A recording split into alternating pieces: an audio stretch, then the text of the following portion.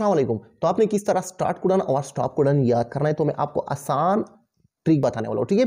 Start couldn't आपको already पता है कि हमारे पास वन है, और स्टॉप कुडन है थ्री तो आप ये आपने किस तरह याद करना है? देखे स्टार्ट कुडन आपने याद करना है आओ जी से, ठीक है? आओ जी ए यू जी आओ जी से. और स्टॉप कुडन किस तरह आपने याद करना है? स्टॉप कुडन आपको इस तरह याद करना है कि ये आपको याद करना चाहिए.